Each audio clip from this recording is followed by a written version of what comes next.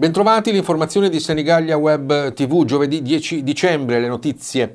La corretta informazione come antidoto al calo delle vaccinazioni, questo è il messaggio lanciato dal Presidente della Commissione Sanità della Regione Marche, Fabrizio Volpini.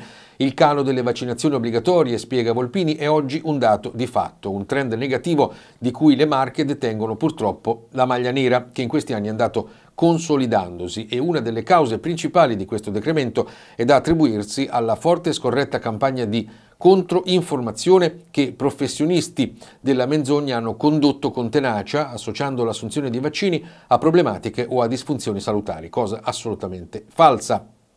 Occorre vaccinarsi per l'influenza perché chiaramente il vaccino offre eh, una grande protezione, chiaramente non si devono vaccinare tutti, ma chiaramente determinate categorie, che sono le, gli anziani, alcune categorie a rischio, chi, chi lavora appunto in servizi eh, di, importanti, perché chiaramente l'influenza, seppur malattia eh, banale, in persone con particolari problematiche, anziani, cardiopatici, eh, persone con bronchite cronica, può avere dire, delle conseguenze importanti e magari portare anche a situazioni gravi. Tra l'altro l'anno scorso abbiamo avuto appunto una situazione eh, particolare, eh, sono state proprio all'inizio della, della, campagna eh, vaccinatoria eh,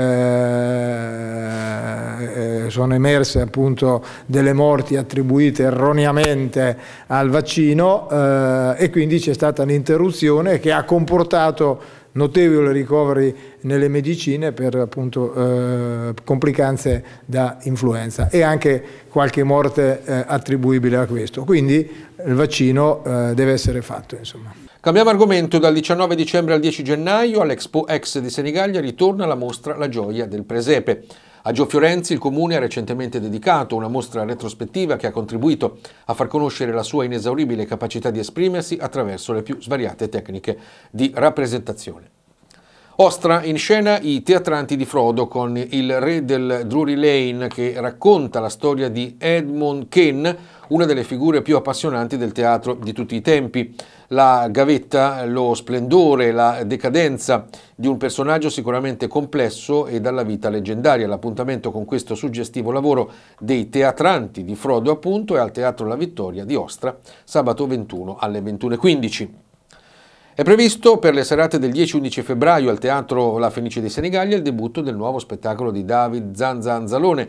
Il celebre artista senegallese si cimenta questa volta con un grande classico del teatro italiano, L'Arlecchino Salvatore di due padroni, un arlecchino ambientato nell'Italia della fine anni 40.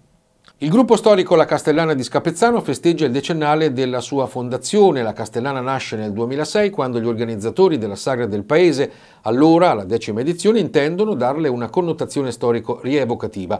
Il gruppo si compone mediamente di una cinquantina di figuranti. I costumi medievali, frutto di meticolosa ricerca, sono stati disegnati e confezionati da una stilista del paese che con la collaborazione di alcune donne gratuitamente vi ha speso tempo e arte.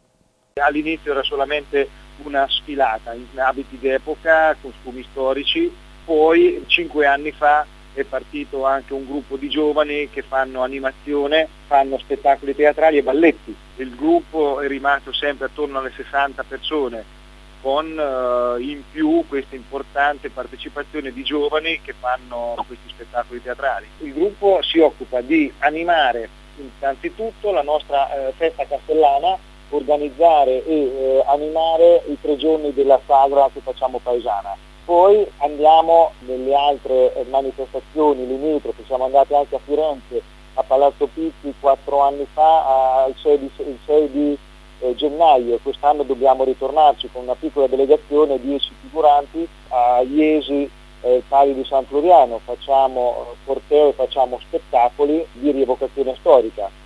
Terminiamo con le condizioni del tempo di venerdì 11 dicembre sulle Marche, cielo sereno, assenti le precipitazioni, i venti deboli nord-occidentali, temperature massime in aumento, altri fenomeni, foschie e locali nebbie mattutine.